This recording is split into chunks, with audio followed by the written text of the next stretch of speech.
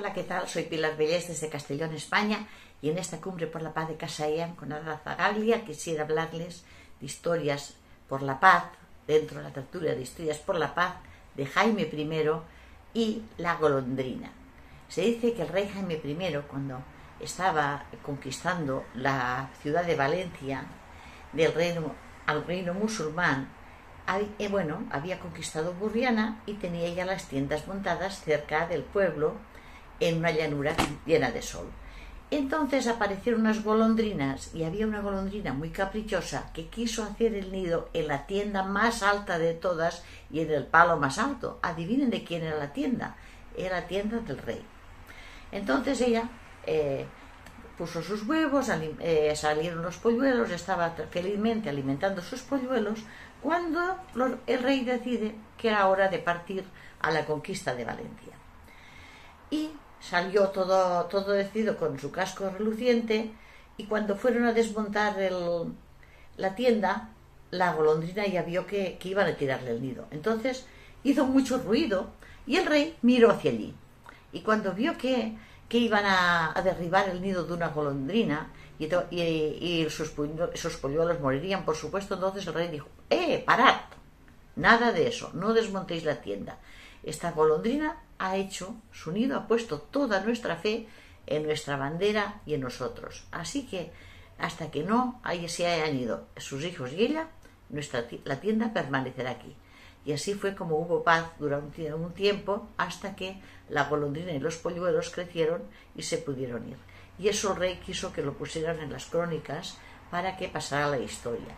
Pero otra historia, otra que me gusta a mí mucho también es la historia del murciélago. Entonces, cuando se dice que los musulmanes que había en Valencia antes de la conquista domesticaban los, murciélagos para que espantaran los mosquitos. Y también había una profecía de que mientras los murciélagos sobrevolaran la ciudad, no, vendrían, no caerían en manos cristianas. De esta manera, Jaime I conocía la profecía. Así que un día un murciélago anidó en la parte superior de su tienda mientras estaban acampados allí la arrabal Rufasa, y el rey cuando lo vio dijo, nada de derribarlo, lo vamos a tratar con lo mejor posible y queremos que esté a gusto nuestro campamento. Este animal nos traerá buena suerte. Y efectivamente al poco tiempo, una noche mientras dormían, escucharon eh, un ripiqueteo de tambor y se despertaron y eran las tropas enemigas que estaban a punto de atacar. Así pudieron hacer frente y evitar que les pasara nada malo. Cuando ya había pasado la batalla, el rey Jaime I quiso recompensar a la persona que había tocado el tambor y no sabía, no había sido ninguno de los soldados. Al final descubrieron que había sido el murciélago el que había saltado de su nido encima del tambor y con sus alas había hecho sonar el tambor para despertarlos y ayudarles a, que, a salvarles la vida.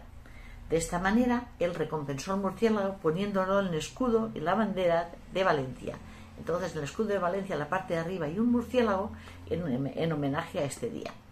Y este poema es para el murciélago de Jaume I. Murciélago de la buena suerte.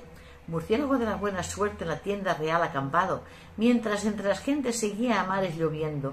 Con tu aura aquel terrible infortunio quedó parado, constructor de la buena suerte para aquel pueblo. Tratando con mimo, tratado con mimo como a un hermano, todos juntos en uno cantando al unísono. En aquella guerra de conquista todos soldados, su estrella les traería nueva victoria y triunfo. Actuando todos en cadena como hermanos, el pronto temblor de un tambor repiqueteando, de un héroe que altanero salvó su pueblo, salvados de aquella batalla navegando juntos. Murciélago, que estás en nuestro escudo y bandera, gracias a ti escamparon las nubes y el temor se sembraron nuevos campos de esperanza y el reino de Valencia alcanzó su máximo esplendor. Muchas gracias, un abrazo desde España, hasta pronto.